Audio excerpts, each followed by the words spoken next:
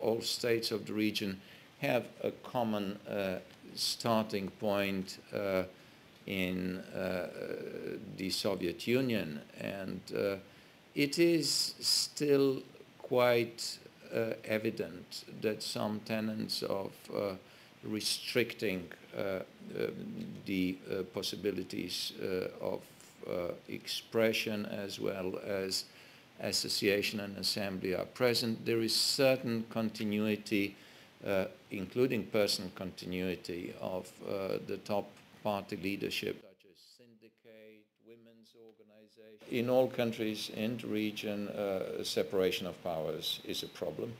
Uh, in Kyrgyzstan, again, the situation probably would be the best. Uh, but in some others, uh, you can speak about separation of powers when you read normative acts, but when you observe uh, realities, as well as how uh, constitutional provisions are being implemented, then uh, division of powers is questionable. The question of torture, very much of a problem. Concerning uh, women and their status, including violence uh, against a woman, women, uh, the situation is quite disturbing in literally all countries. It could vary.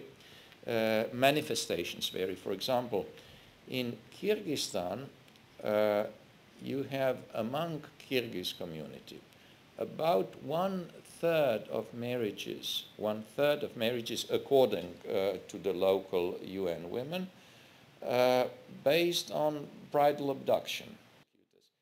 Most drastic if uh, there is a torture and uh, uh, uh, excessive use of force against civilians in an attempt to prevent terrorist activities and spillover from Afghanistan that backfires and that suppression of religious freedoms and uh, human rights in general backfires in sense of uh, efficient uh, fight against terrorism.